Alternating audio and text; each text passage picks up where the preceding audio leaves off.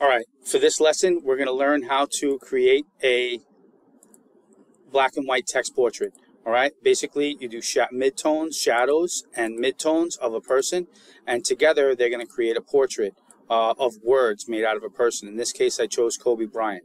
I like Kobe Bryant because he's an amazing, he was an amazing father, an amazing basketball player, and one of the things I really value about Kobe is his work ethic. It was monstrous. So I really, really deeply appreciate that of him as a person. So I chose Kobe.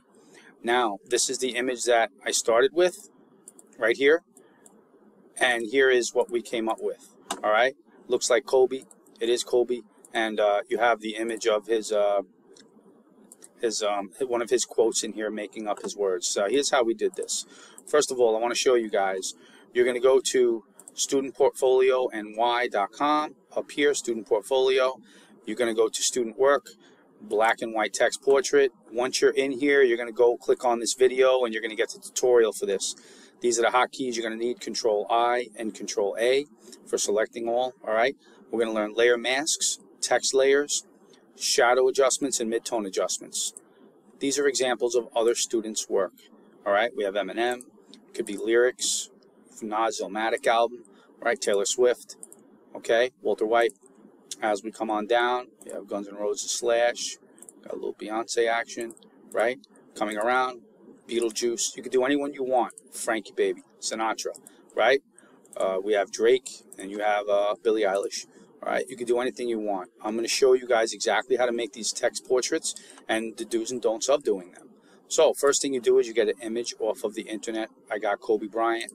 I right click copy image. Look at the size, 1200 roughly. Those are the size megapixels you're going to want to deal with.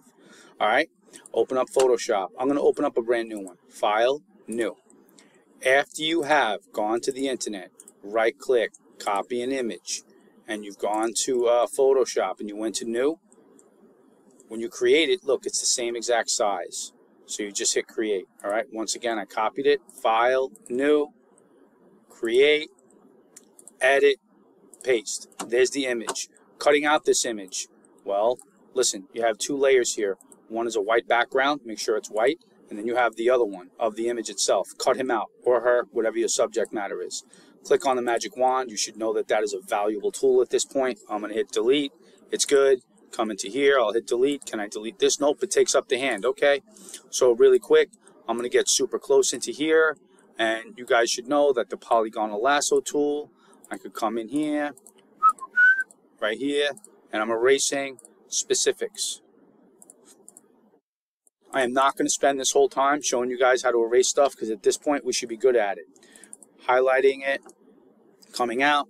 I'm just going to take a second to erase the rest of this and then I'll come right back in a second. All right, it should not take me too long. I'm just going to erase these little things over here, over here, and make him look perfect actually really quick. Magic wand will work right here. Boom delete, it's gone, and his fingertip, boom, gone. History, those little accents in here, Control D, are really important. So, um, this is looking good. Give me a sec. I'm going to erase all this other noise over here, and we're going to make him into a white image. All right, so now that I have Kobe totally cropped out, I have him against a white background. I am now going to um, edit him. I'm going to call this first layer original. After this layer is called original, in the original layer, I'm going to go to select color range. When you go to color range, hit the drop menu. In here, you're going to go to shadows and it's going to give you a preview of what it's going to select. Okay, hit OK. Selects the shadows. You're going to go to edit, copy. Now, we are going to make a new layer. Make sure that if this is white, put it on black. All right, the swatch here. When you come into here, hold, um, come on this layer, and you're going to hit um, Alt Delete. And by holding Alt Delete, it puts in a black image of it. Hit Control D, and it's going to deselect the image. So now I have that one. This will be called Shadows. Next order of business is the midtone. So let's come into here in the original layer, select color range, and you're going to hit the drop menu from shadows to midtones and you're going to hit OK. Selects only the midtone image parts of the image. You're going to go to edit, copy. After you've done that, you're going to make another layer. You're going to hit Alt, Delete. And now, wouldn't you know it, shadows and midtones. Shadows and midtones are both placed in. Hit Control D. If I take it away, there's the midtones and shadows. There's the shadows, and this one is called what? Highlight it, midtones. Name the layer. Layers are named. We have the shadows and midtones named. Next order of business is to get words. So put over him. Now listen, this is very important. You want to get words with some substance. I got a quote from Kobe Bryant. I really deeply appreciate the, his work ethic, especially besides being a fantastic dad, you know, and husband. We're going to copy this over here. We're going to come into um, Photoshop. Make sure that you click on the T for text. Make sure that it's going horizontally. You're going to click on the black. Make sure that it comes out in black and make it small. You don't want it to be really big. So I'll make it like a size 12 start with and see how it looks. Click and then hit Control V. And now look, I have his words that just came out.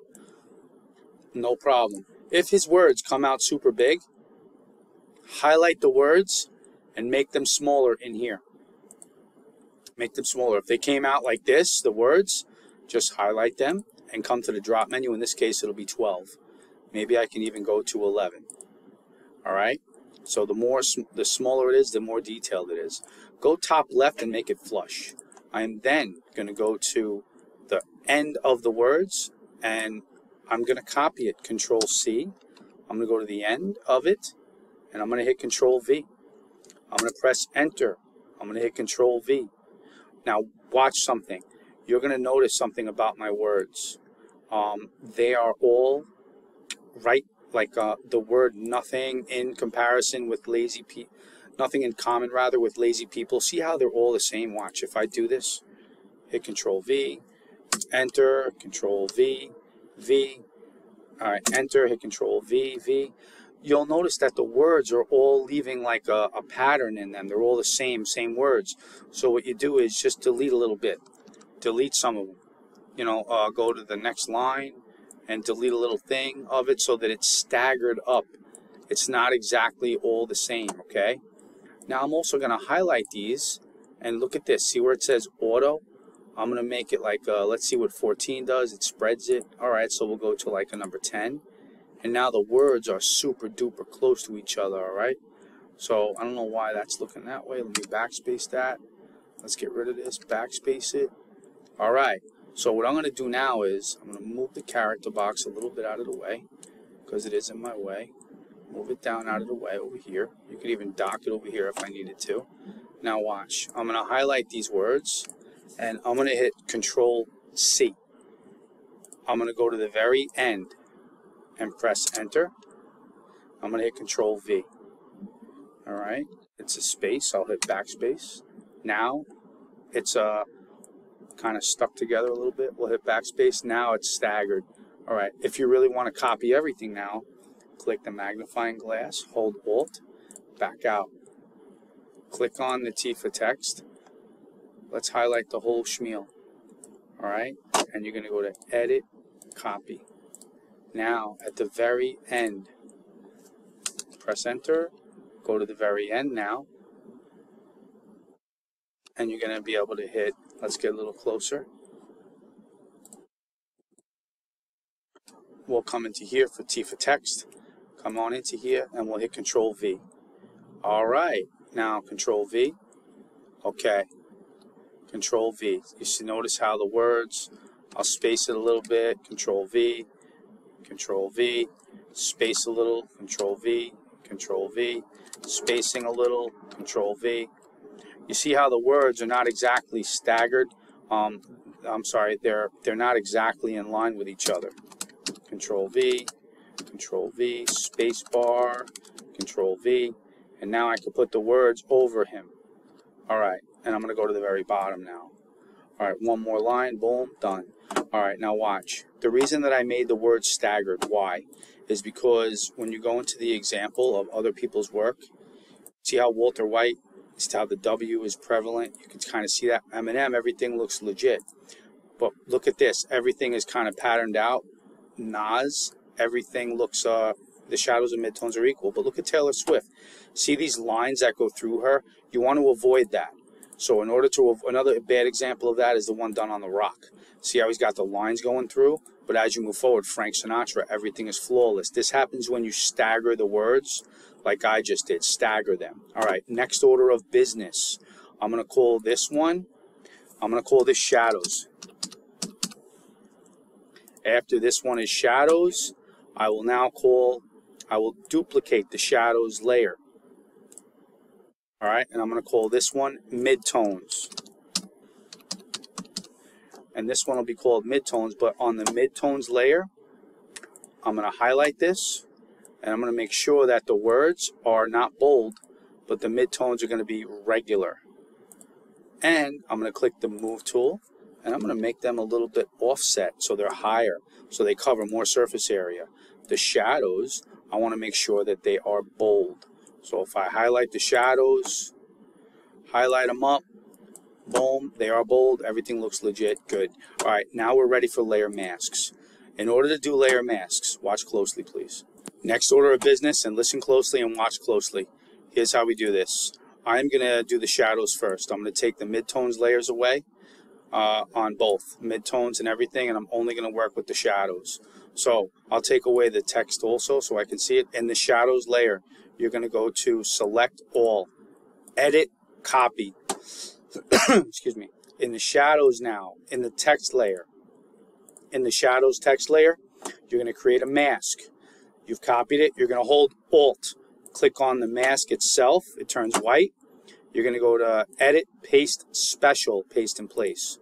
After you've pasted it in place, hit Control D and Control I.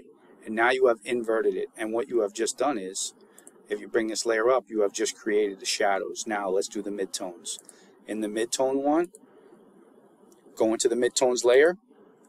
Uh, you can take away everything. Just look at the midtones. You're going to go to Select All, Edit, Copy. Go into the midtones layer now. Create your mask. Hold Alt. Click the mask. It turns white. Edit, paste in place. Paste special, paste in place. Boom. Now, Control D and Control I. And now, if I take this away, if I bring back only my shadows and my midtones, there's Kobe. Made from his words about hard work. And if you take this away, sometimes the shadows look better, or just the midtones look better. It's really based on the image, okay? But this is exactly how you would do it. Next order of business, file, save as. You're saving this as a Photoshop document because you did a heck of a lot of work with this. It's on the desktop, goes into your graphic design folder, right click, new folder. You should save this in the beginning also, up to your progress. And you're going to call this one black and white text portrait. You're going to go into there. I also do this. I copy the name of the folder. I'll go into the folder, and this is the name of the file. I match the files with the folder to make sure that everything is legitly saved in the right spots. So basically, you now took this image, all right, and then you made shadows, you made midtones and shadows, okay, and then you took those shadows and midtones and you made words out of them, all from going to the internet and getting a quote from somebody. There is absolutely no right or wrong with this. You could do any person that you want. All right, these are examples of students' work. Make sure that you stagger your words when you do it so that this way you don't get these lines when you're setting up the words. Listen, the most important part of doing this project is getting all those words staggered so that you don't have this, a letter R going all the way down the same. Okay? This one is great. This is all, this one too, beautiful Slash, however, would be done a little bit better. Beyonce too, but look at this one. You got Marvin's Room staggered, and Drake looks a little bit better. Billie Eilish, Billie Eilish rather, you got, you know, you got the lines going vertically and horizontally. Frank Sinatra's perfect. I mean, Old Blue Eyes came out great. So that's what you want to achieve when you're doing this. All right? Have fun with it and, you know, teach me something about who you want to do a text portrait of. Thank you.